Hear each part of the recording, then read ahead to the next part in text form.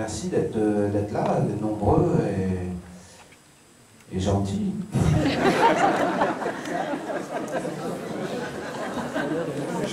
On a fait quelques. Mais, mais pourquoi tu es à 250 mètres de C'est le réalisateur, moi je, je prends la parole, je sais même pas pourquoi, c'est- Jean-Marc, c'est son premier long métrage. Euh, je, suis, je suis un petit peu ému de, de tout ce monde. D'habitude. Il est, il est né à Tours.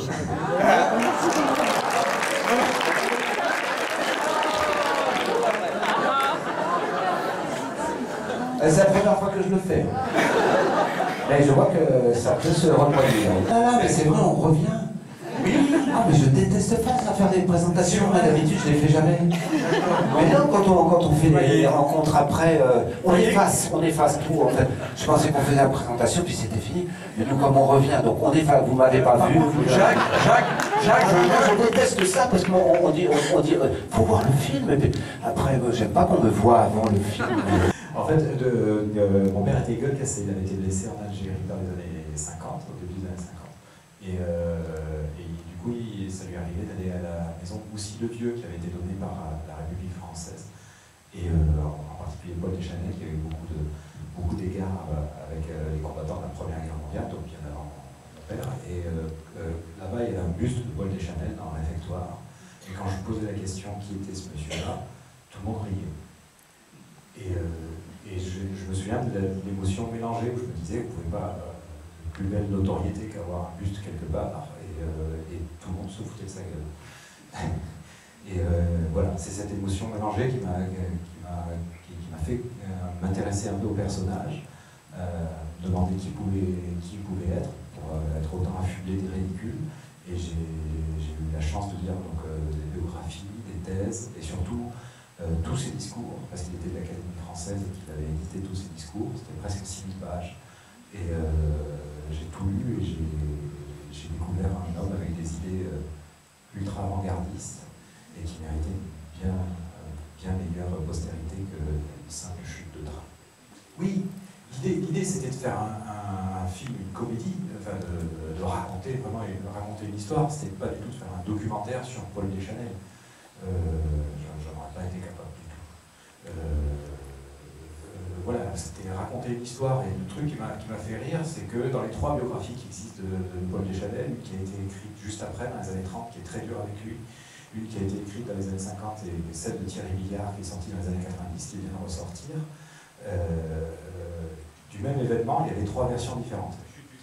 La chute du train notamment, mais la mort aussi, euh, euh, l'élection, enfin il y avait plein de, Donc je me suis dit, tiens, c'est rigolo, il y, a, il y a quand même un rapport à la réalité historique et à la vérité qui est quand même un petit peu, euh, un petit peu bizarre avec ce personnage. Et puis il y a, eu cette histoire de Véronal qui, euh, qui brouille un peu la perception de la réalité. Il y, a- il y avait aussi, j'ai fait des recherches sur, euh, sur Clémenceau, j'ai découvert que ben, il, s'était autoproclamé en même temps président du Conseil, euh, ministre de la propagande, et qu'il tournait lui-même des images d'archives pour euh, créer un mythe Clémenceau, parce qu'il avait compris, il était intelligent, il avait compris euh, l'importance de l'image et ce qu'on prend maintenant pour des images de lui euh, dans les tranchées, en fait, étaient des mises en scène. Donc je, je trouvais c'est d'où l'idée d'utiliser les, images d'archives, de les détourner avec nos acteurs pour brouiller la, brouiller la piste. Mais Oui, oui, complet. Moi, j'ai- j'ai- j'ai- j'étais complet, oui. Ça se voit, non? Je suis comblé. Euh, ben oui, mais non, parce que c'est pas, c'est pas fréquent, en fait, euh, sur toute une, euh, vie, une- un chemin, une, carrière, de tomber sur des. Tomber n'étant pas le verbe juste. Euh, on tombe enceinte aussi, on se demande pourquoi. Mais enfin bon. Euh, sur, des scénarios qui, qui osent ça, qui ont cet imaginaire-là de ne pas craindre que si on mélange le rire, l'émotion, euh, ça va faire une histoire.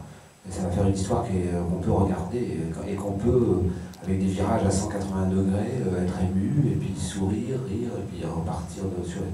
Moi j'aime ça. D'ailleurs, je- certaine façon, les spectacles que je, que je construis aussi et que j'écris sont, sont pétris de, de ces virages à 180 degrés. Je- J'aime profondément euh, ça, j'aime profondément, profondément les clowns. Euh, et, je crois que aussi là-dessus on se, on retrouve parce que, euh, évidemment, quand je lis le scénario, je vois bien que cet homme qui a écrit ça, ou ces deux personnes qui ont écrit ça, sont amoureux des clowns. Les clowns, ça, il faudrait les définir, parce que quand on dit en bas, t'es un clown, t'es un clown, bon, oui, mais bon, des clowns, enfin voilà, quand on parle de clowns, de burlesque, de, comment dire, euh, oui, on s'est retrouvés, enfin, on, se reconnaît. C'est, il y a oui, je sais pas, quand on, quand on joue de la musique, c'est ça, des musiciens se reconnaissent dans un, ils se comprennent, et nous, on s'est compris sans avoir à s'expliquer sur qu'est-ce que c'est que le mélange des genres, et, etc. Donc oui, j'étais comblé. C'est très rare, c'est très rare d'avoir... Les gens veulent avoir c'est la comédie, c'est un film historique, c'est un film politique, c'est toujours, on nous pose la question, alors c'est quoi? C'est dans quelle case? Les cases, moi je m'en fous des cases, moi ça m'emmerde les cases, donc, donc, euh, donc j'ai rencontré un homme sans case, et, euh, puis à rencontrer un homme sans case, et puis euh, à tous les deux, on a, fabriqué une case avec d'autres gens autour, et, évidemment André Dussolier tous les, tous les acteurs, Christian Eck, un, acteur aussi ô, combien, euh, ô combien brillant dans, dans, cette, ce registre du burlesque. Moi, un petit peu mon propos, c'était euh, de s'intéresser aux gens qui avaient, vraiment, des idées, qui ne savaient pas forcément les appliquer. parce que je trouve ça touchant, déjà, des gens qui, arrivent à être qui ont été visionnaires à un moment, un moment précis de l'histoire et qui, euh, et qui, ont, et qui, n'ont pas réussi. Et je trouve ça intéressant de se poser la question de la réussite parce que les livres d'histoire sont pleins de, gens qui réussissent. Et euh, je pensais qu'on pouvait être touché par un personnage qui, qui, selon les critères, n'avait absolument pas réussi, mais euh, au moins il aura réussi à être le héros d'un film. Ressenti que vous, je ne conteste pas, que, que, que la forme du film comment dire, euh, euh, discréditerait euh, ses idées et ça le met, ça le met dans, l'ombre. Peut-être, peut-être. En tout cas, c'est un point de vue. mais moi, ce que j'entends aussi beaucoup, c'est que c'est une, découverte.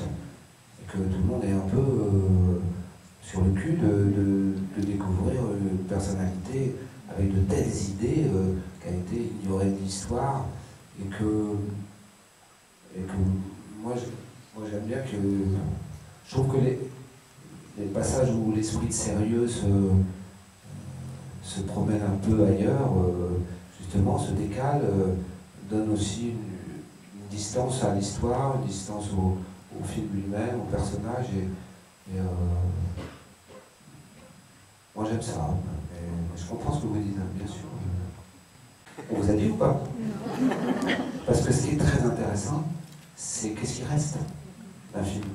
Aujourd'hui, on parle, vous êtes à vif, euh, le générique vient, de tomber, mais en fait, ce que. D'ailleurs, moi, quand je lis un scénario, euh, j'attends souvent à donner une réponse euh, de qu'est-ce qui va me rester demain, après-demain, après-demain.